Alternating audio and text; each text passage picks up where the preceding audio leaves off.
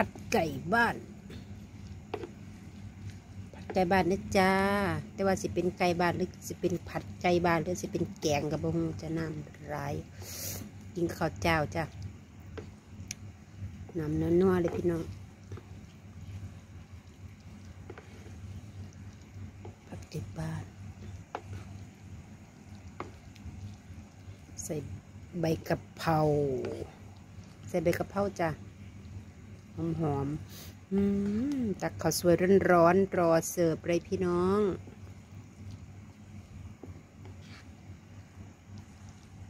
อาหารบ้านๆจากเซลซันซิม กินบดจ้า ตักไก่ก่อน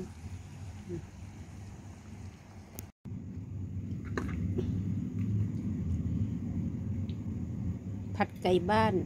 ร้อนๆจ้า